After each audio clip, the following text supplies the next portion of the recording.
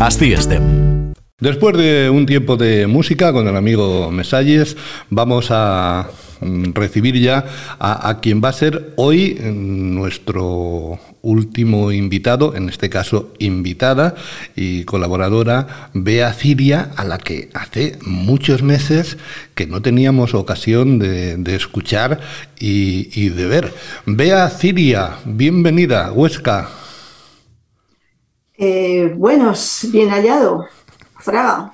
Después de, de, varios meses, eh, sin contar con, con, tu presencia en el programa, eh, hemos decidido que en el primero de la cuarta temporada estés presente para retomar esa sección a la que ya nos tienes acostumbrados y que dimos en llamar mitos y ritos. Vamos a seguir con lo mismo, ¿no? Sí, esta vez es eh, como formando parte de, de varios episodios, porque por fin voy a cumplir lo prometido y me voy a atrever con Hércules. O sea que va a empezar fuerte, con Hércules, nada más y nada menos. Es decir, Oye, eh... no sé si tan fuerte como él, porque es una bestia parda, pero sí. ¿Qué te, iba, ¿Qué te iba a decir? Eh, bueno, para los que no lo sepan, Bea Ciria es profesora de filosofía, estuvo durante varios cursos en el Instituto de Fraga y ahora ya 15, lleva... majo, 15. 15. 15. Eh, ahora ya llevas unos cuantos, bueno, dos me parece, ¿no? En, en un instituto de Huesca. Sí. Este es el tercero. Este es el tercero. Eh, estaba pensando que, que, a los profesores eh, os debe ocurrir algo raro, porque cada vez que empezáis el curso, eh, tenéis un rebaño, entre comillas, un grupo de alumnos de una determinada edad.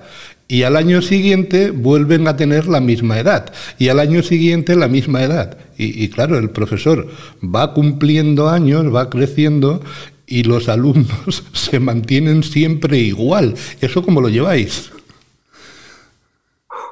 ¿Cómo se puede? Nos llevamos como podemos. Eso ya lo decía mi profesora de filosofía hace muchísimos años, que ella iba envejeciendo cada año y que nosotros teníamos siempre la misma edad. No me había parado a pensarlo, pero ahora lo estoy viendo en primera persona y es cierto. Dicen que la historia siempre se repite. En este caso, se repite porque es cíclica, ¿no? En este caso no es porque sea cíclica, es que cada año es lo mismo. Uh -huh. Pero los grupos como las personas tienen gruponalidad. Quiero decir que cada grupo, cada año son diferentes, tienen características diferentes. O sea que en ese sentido es un reto, Porque, es un reto nuevo. Por ejemplo, en tu caso, eh, ¿cuántos cursos estás con el mismo grupo? ¿Uno, dos, tres? Pues en Fraga a lo mejor algunos alumnos los podía llevar hasta cuatro años. Uh -huh. O más, pero cuatro años, bien. En cambio aquí, como son mil alumnos, pues repito con algunos, pero mezclado con otros distintos, con lo cual forma, forman parte de otro grupo con una gruponalidad diferente. Y, es nuevo todo, absolutamente todo. Muy bien. Bueno, o sea que, que, eso se tiene, se tiene asumido, ¿no? Que los críos son siempre de la misma edad y, y, están siempre igual de verdes. Y luego cuando los vas controlando un poco y conociendo, se te marchan y, y llega otro grupo eh, otra vez nuevo, ¿no? Es nuestro sino, es como el mito de Sísifo, que también me comprometo a contarlo si, si me dejáis la oportunidad. Por supuesto que te dejaremos. Sísifo estaba castigado por los dioses. Es que los castigos de los, del periodo de los clásicos en los mitos son terribles. Bueno, pues Sísifo, el pobrecito, estaba condenado a subir una piedra y, y se, volvió, se volvía a caer, tenía que bajar y volverla a subir así hasta, vamos, siempre. Esto es como, como, que, es como aquella película ¿no? de Atrapado en el tiempo o algo así, que, que se repetía continuamente, que se despertaba el, el, actor, el protagonista de la película, y era el día de la marmota, y salía a la calle, veía unos individuos, no sé qué y tal. Y, y luego al cabo de un rato volvía otra vez a sonar el despertador a las 6 de la mañana, se volvía a levantar, volvía a ser el día de la marmota, vamos, una, una cosa parecida. Uf. Esto por lo menos es un año, no es un día. Muy bien. Bueno, pues ve a Siria. Eh, como creo que tienes hechos los deberes y has dicho que nos quieres hablar de, Hércules, eh, te dejo el micrófono pues para ti y nos cuentas lo, que, lo que quieras de, de ese hombre tan forzudo. Sí, vamos con ello. Eh, Heracles, Hércules para los latinos, es el héroe más popular de toda la, mitología clásica. Oficialmente era hijo de Anfitrión y Alcmena, ambos mortales de la estirpe de los Perseidas, originaria de Argos, en el Peloponeso. Al margen de su partida de nacimiento, se justifica que sea un héroe, el héroe era hijo de dios y mujer mortal o de hombre mortal y diosa, mediante varias explicaciones. La más variopinta, de la que opino no llega a la del Espíritu Santo ni a la suela de los zapatos, consiste en que Zeus, el padre de los dioses y bragueta suelta donde los, donde, por antonomasia, donde los haya, aprovechándose de la ausencia de anfitrión, engañó a Alcmena tomando el aspecto de su marido y la preñó después de una noche muy larga, eh, long play, y prolongada por deseo y acto de Zeus. Cuando llegó anfitrión a su casa a la mañana siguiente, le engendró a un segundo hijo, y al que llamaron Ificles. Y ahora viene la pirula como hermano gemelo de Heracles, solo que una noche más joven. Cuando Anfitrión se enteró de que había sido elevado al altar de los astados junto con Hefesto, dios, de, dios artesano contrahecho, casado con Afrodita, tuvo que intervenir Zeus para que el padre aceptara ser el padre putativo de Hércules. Para que Anfitrión, ¿vale? Pasara a ser el padre putativo, aceptara. Tampoco la mujer de Zeus era, con H, quedaba en muy buen lugar en esta historia, y como diosa que era, ni claudicó ni se resignó ante su infiel marido. Así era, celosa de Alcmena, se acordó que su marido Zeus había dicho que el niño que naciera de los Perseidas, del linaje de Perseo, reinaría en Arcos en Argos, perdón, en Argos. Era tomó cartas en el asunto y consiguió que su hija Ilitia, diosa de los alumbramientos, adelantase el alumbramiento de Euristeo, primo de Hércules, nació, que a la postre nació Siete Mesino y rey de Argos ya, y retrasase el de Hércules, quien nació accidentalmente en Tebas después de diez meses de, gestas, de gestación. Dios mío, pobre madre. Pobre madre, desde luego. Gemelos y uno de ellos Hércules. Debía ser un noviller. Debía llevar una tripa bien lucida, ¿no? Las aventuras de Hércules constituyen un ciclo completo en constante cambio durante más de mil años. Aún así, Pierre, Grimal, escrito, eh, autor de mi diccionario de cabecera, de mi diccionario mitológico de cabecera, los ordena en A, ciclo de los doce trabajos en el que nos vamos a centrar, y aquí Hércules está solo o con su sobrino Yolao, y B, las hazañas de Hércules al frente de ejércitos. Esto no lo vamos a trabajar. Ya tenemos introducidos, pues, los protagonistas de los trabajos. Hércules era por despechada y Euristeo, el rey que es rey de Arcos en lugar de Heracles por haber sido retrasado su alumbramiento. Eh, entonces, veremos también el motivo por el cual Hércules se somete casi como esclavo a la voluntad de este tal Euristeo que, según Homero y todos los autores que, que lo tratan en sus textos, es despreciable e incompleto.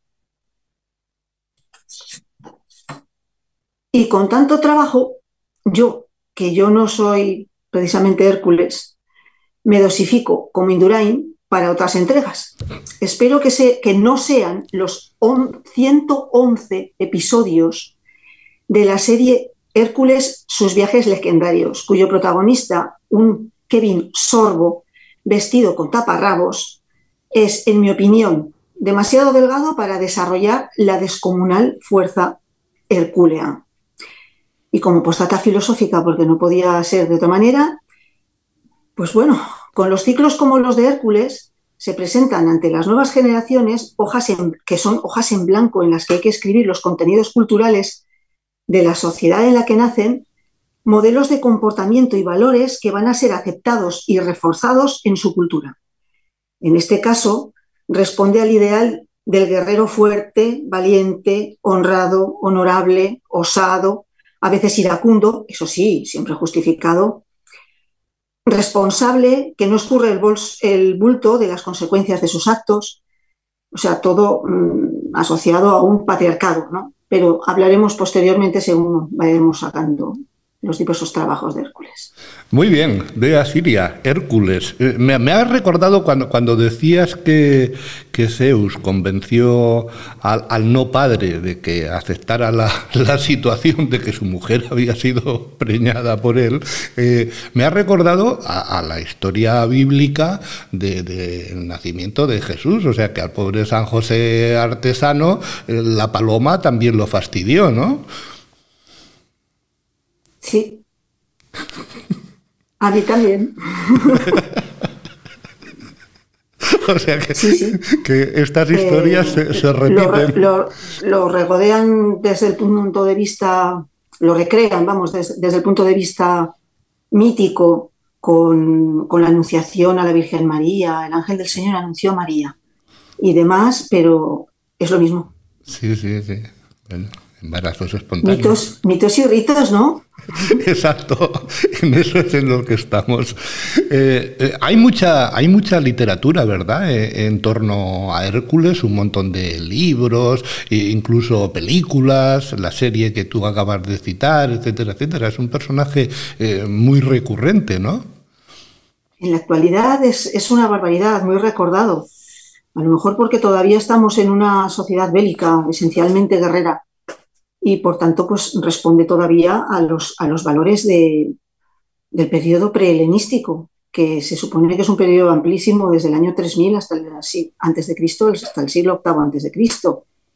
Y ya entonces salió el, el, mito y después fue reformado hasta eh, y cambiado una y otra vez hasta el 476, hasta la caída del paganismo por la caída de Roma.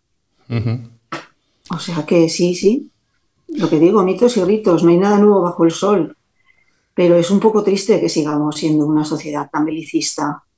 Vaya, además, eh, no paramos, ¿eh? Siempre hay, si, no una, 10, 15 o 20 guerras en, el planeta. Algunas las tenemos más próximas y les damos como más trascendencia y más importancia y, otras pues parece como que nos resbalan porque nos pillan más lejos, pero esto no para, ¿eh?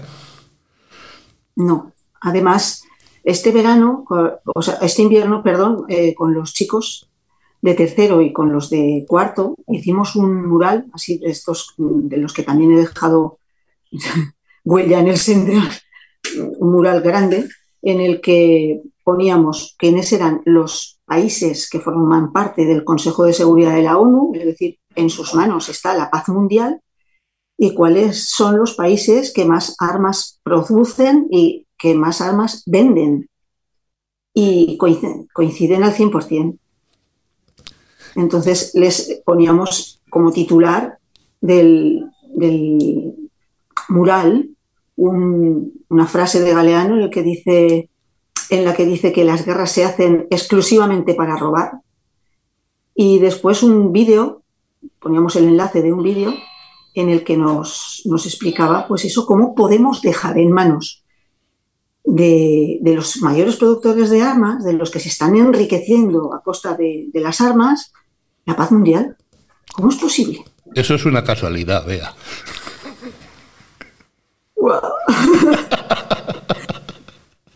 Eso es una casualidad. No es, pues como si lo fuera. ¿eh? ¿eh? no es premeditado. Muy bien. Oye, pues bienvenida a, la nueva temporada de Asciestem. Volveremos a hablar contigo en unas semanas para que nos sigas contando historias sobre las hazañas de Hércules. Hasta siempre. Hasta luego, chicos. Os quiero mucho. Así estem. Una producción de Emilio Rubio con el equipo de colaboradores más... eh, más... más... eh, bueno, eh, con un equipo de colaboradores.